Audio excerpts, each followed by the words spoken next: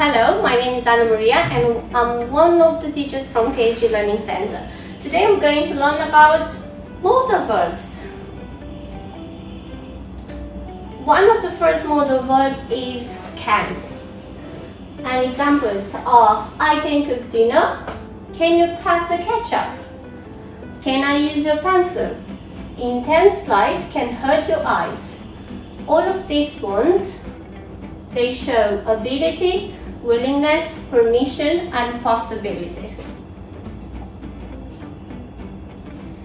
We have here direction saying how can is used in each sentence. The first one, I can tie my shoes. Can I have a piece of gum? If you ride a motorcycle, you can fall. You can put A if it expresses ability. You can use W if it expresses willingness. Or per if it is used to express permission and pose if it is used to express possibility.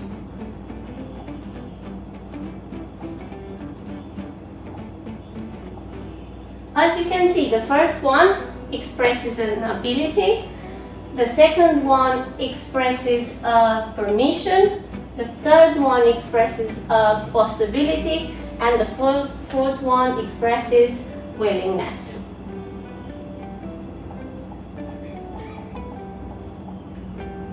Another modal verb, it is could. The negative of can is could not, or the contraction couldn't. He couldn't let me have his pencil because he needed it. Jane could be at the store right now. The first one, it is the past tense of can.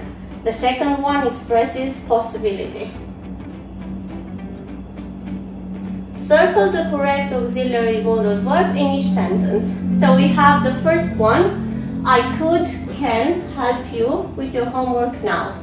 We need you to choose which of the two modal verbs it is the correct one for this sentence. And the answer is can.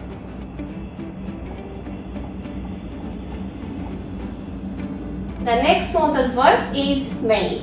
The negative of may is may not. Here can express possibility and permission.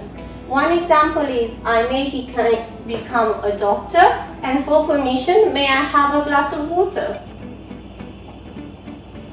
Another modal verb is might. The negative of might is might not. It expresses possibility. I might become a doctor when I grow up, but I doubt it. He is not sure, it's just a possibility that he is going to become a doctor you have might and may. The first might, I might become a doctor when I grow up, but I doubt it. And the second one, it's a higher degree of possibility. If the first one, he wasn't sure that he's going to become a doctor, it's a small possibility, may can show a higher degree of possibility. I may become a doctor. So it's quite possible in the near future that she or he is going to become a doctor. This is the lesson for today. I hope you enjoy it. Have a lovely day.